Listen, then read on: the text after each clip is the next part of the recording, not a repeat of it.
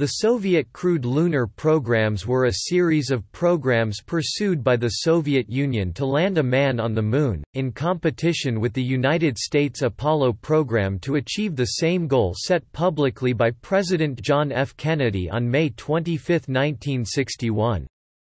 The Soviet government publicly denied participating in such a competition, but secretly pursued two programs in the 1960s, crewed lunar flyby missions using Soyuz 7KL-1 spacecraft launched with the Proton-K rocket, and a crewed lunar landing using Soyuz 7K Lok and LK lander spacecraft launched with the N-1 rocket.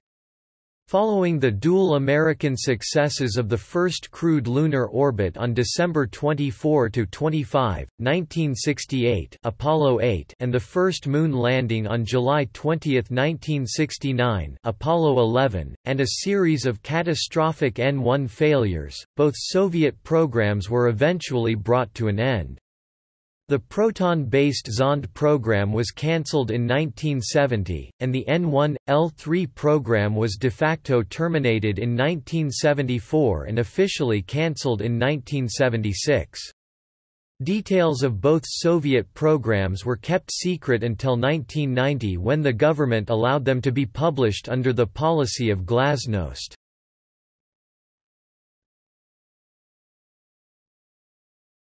Topic Early concepts As early as 1961, the Soviet leadership had made public pronouncements about landing a man on the Moon and establishing a lunar base, however serious plans were not made until several years later.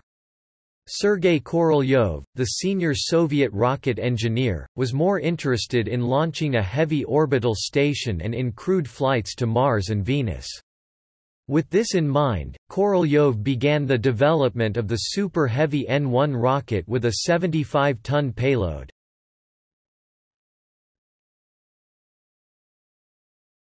Soyuz ABC and N-1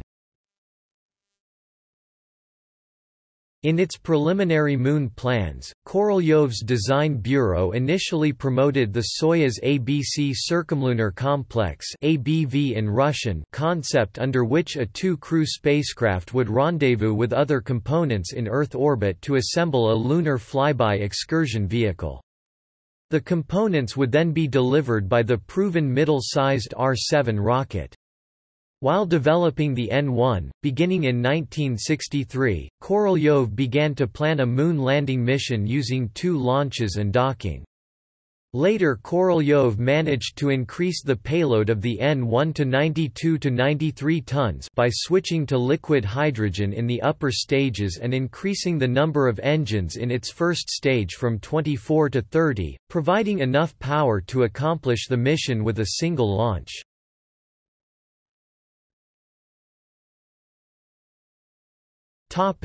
UR500K, LK1 and UR700, LK3 Another main space design bureau headed by Vladimir Chelomey proposed a competing cislunar orbiting mission using a heavy UR-500K rocket later renamed the Proton rocket and a two-crew LK-1 spacecraft.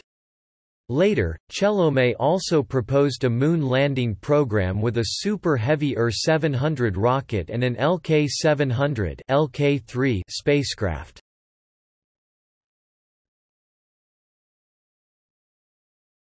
Topic: Reaction to Apollo. The Soviet government issued a response to the American Apollo challenge after three years. According to the first government decree about the Soviet crewed moon programs Decree 655-268, on work on the exploration of the Moon and mastery of space, adopted in August 1964, Chelomey was instructed to develop a moon flyby program with a projected first flight by the end of 1966, and Korolyov was instructed to develop the moon landing program with a first flight by the end of 1966 1967, following the change from Nikita Khrushchev to Leonid Brezhnev in 1964, the Soviet government in September 1965 assigned the flyby program to Korolyov, who redesigned the cislunar mission to use his own Soyuz 7 KL-1 spacecraft and Chelomey's Proton rocket. Korolyov organized full-scale development of both programs, but died after surgery in January 1966. According to a government decree of February 1967, the first crewed flyby was scheduled for mid-1967, and the first crewed landing for the end of 1968.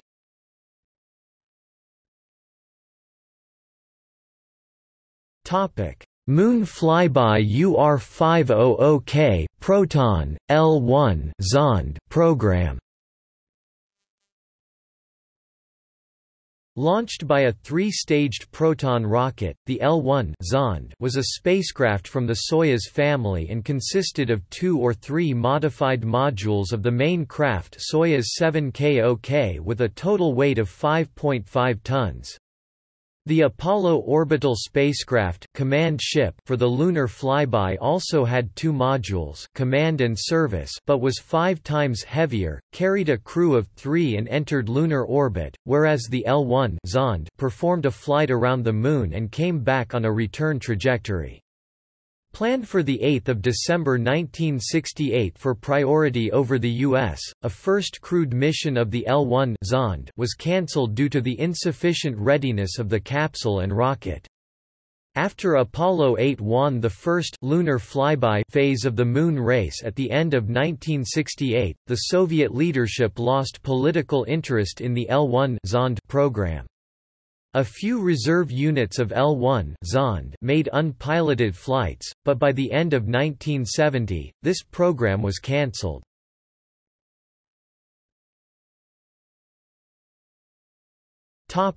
Moon Landing N1 per liter 3 program The crewed landing plan adopted a similar method to the single launch and lunar orbit rendezvous of the Apollo project. For mission safety, weeks before the crewed mission, an LKR uncrewed L3 complex and two Lunokhod automated rovers would be sent to the Moon, to work as radio beacons for crewed LK, with the LKR used as a reserve escape craft. The Lunokhods were also equipped with manual controls for the cosmonauts, both for transfer to LKR in necessity and for regular research. The N-1 rocket would then carry the L-3 Moon Expedition Complex, with two spacecraft LOK and, LK and two Block G and Block D boosters. A variant of the Soyuz craft, the Lunny Orbitalny Korabl LOK command module, would carry two men, with three modules like the regular Soyuz 7 KOK, but was heavier by a few tons. The 7KOK was half the mass of the three-crew Apollo orbital command ship. The Lunny Korabl LK accommodated only one cosmonaut, so in the Soviet plan, only one cosmonaut would land on the Moon. The mass of the LK was 40% of the mass of the Apollo lunar lander. The L3 complex to be placed in LEO by the N1 was 93 tons compared to Saturn V's 137 tons. The mass of the LOK and LK was 40% of the Apollo complex, but was equivalent to the L3 complex without Block G, the booster for the LEO toward the Moon for the Apollo vehicle was provided by the last stage of the Saturn V, while for the Block D, LOK and LK, this was to be provided by Block G of the same L3 complex. During the L3 complex's journey to the Moon, there would be no need to undock and redock the orbital and landing craft as was done in Apollo, because the cosmonaut would transfer from the LOK to LK by a spacewalk. On the Apollo missions, the transfer was done using an internal passage. Block D was to slow the LOK and LK into lunar orbit, while with Apollo this phase was undertaken by firing the engine on the service module to slow the complex and enter lunar orbit since the Apollo complex traveled with the command module and lunar excursion module facing back towards the Earth. Once in orbit, the LK with Block D would separate from the LOK and descend toward the surface of the Moon using the Block D engine. After Block D exhausted its fuel, the LK was to separate and complete landing using its own engine. On the Moon, the cosmonaut would take moon walks, use lunokhods, collect rocks, and plant the Soviet flag. After a few hours on the lunar surface, the LK's engine would fire again using its landing structure as a launch pad, as with Apollo. To save weight, the engine used for landing would blast the LK back to lunar orbit for an automated docking with the LOK. The cosmonaut then would spacewalk back to the LOK carrying rock samples. The LK would then be cast off, after which the LOK would fire its rocket for the return to Earth. Topic launch schedules As of 1967, the L-1 per liter three launch schedules were, UR-500K, Proton, L-1 Zond, Program 2P, Develop Block D Stage February or March 1967 3P, Develop Block D Stage March 1967 4L, Uncrewed Lunar Flyby May 1967 5L, Uncrewed Lunar Flyby June 1967 1967 6L, crewed lunar flyby June or July 1967 7L, crewed lunar flybys August 1967 8L, crewed lunar flybys August 1967 9L, crewed lunar flybys September 1967 10L, crewed lunar flybys September 1967 11L crewed lunar flybys October 1967 12L crewed lunar flybys October 1967 13L reserve spacecraft in 1 per liter 3 program 3L develop LV and blocks G and D September 1967 4L reserve 5L LOK LK uncrewed December 1967 6L LOK LK uncrewed February 1968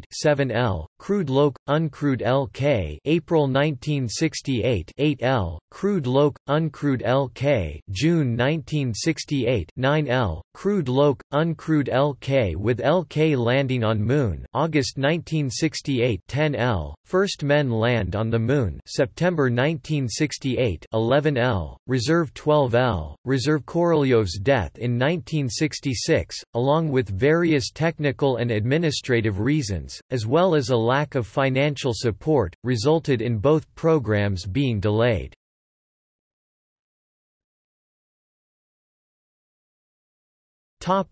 Cosmonauts In 1966, two cosmonaut training groups were formed. One group was commanded by Vladimir Komarov and included Yuri Gagarin, and was to prepare for qualification flights of the Soyuz in Earth orbit and a Proton-launched cis-lunar mission Gagarin, Nikolaev, Komarov, Bykovsky, Khrunov, engineer cosmonauts, Gorbatko, Grechko, Sevastyanov, Kubasov, Volkov. Komarov later died in the Soyuz 1 spaceflight when his parachute malfunctioned causing his capsule to smash into the Earth at high speed. The second group was led by Alexei Leonov and concentrated on the landing mission commanders, Leonov, Popovich, Belyayev, Volynov, Klimuk, engineer cosmonauts, Makarov, Voronov, Rukavishnikov, Artyukhin. As a result, Leonov has the strongest claim to have been the Soviets' first choice for the first man on the Moon. After Komarov's death in Soyuz 1 in 1967, Gagarin was taken out of training and the groups were restructured. Despite the Soyuz 1 setback, the Soviets successfully rehearsed the automated docking of two uncrewed Soyuz craft in Earth orbit in 1968 and with the crewed Soyuz 4 and Soyuz 5 joint mission in early 1969 tested the other key mission elements. A total of 18 missions were related to the N1L3 project.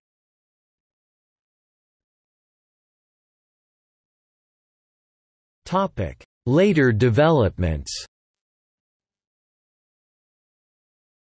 After the U.S. moon landing in 1969, the justification for the Soviet lunar landing program largely evaporated, although development and testing continued into the early 1970s. In 1970–1971 the LK was ready after three uncrewed test flights in LEO Cosmos 379 Cosmos 398, Cosmos 434.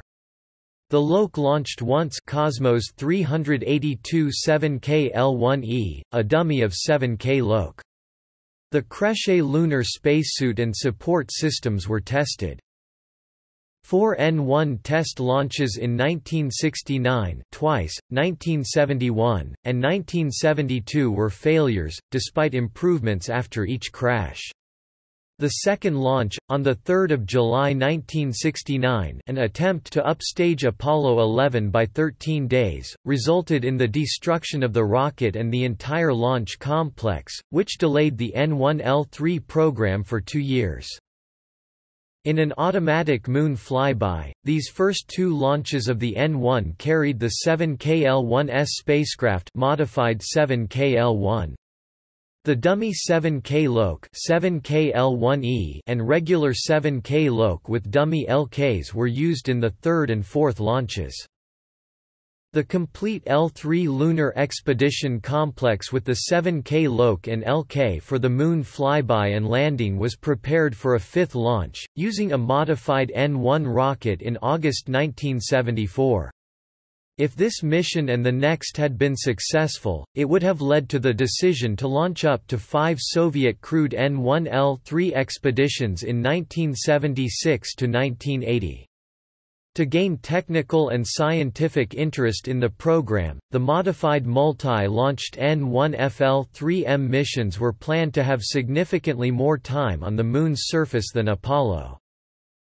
However, N1L3 as well as N1FL3M program was cancelled in May 1974, and Soviet crewed space efforts subsequently concentrated on the development of space stations and on several designs and ground preparatory processes for a Mars mission, which continues to the present day, but has unclear objectives. A moon base, Zvezda, that was proposed later, developed mock-ups of expedition vehicles and surface modules, and Vulkan LEK project were not adopted for economic reasons.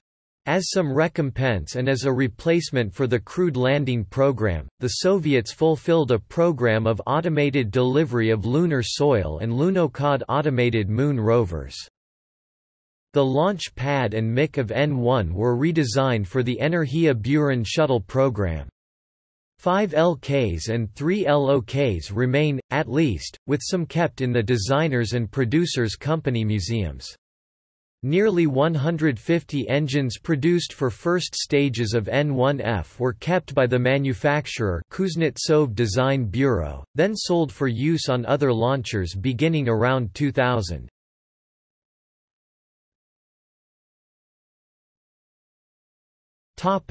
Gallery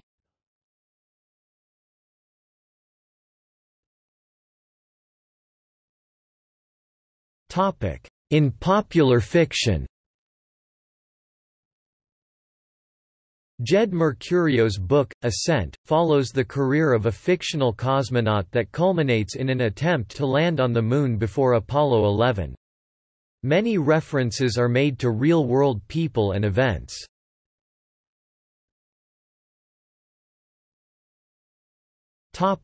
See also Apollo program Moon exploration First on the Moon, a Russian mockumentary Soviet space program Soviet space program conspiracy accusations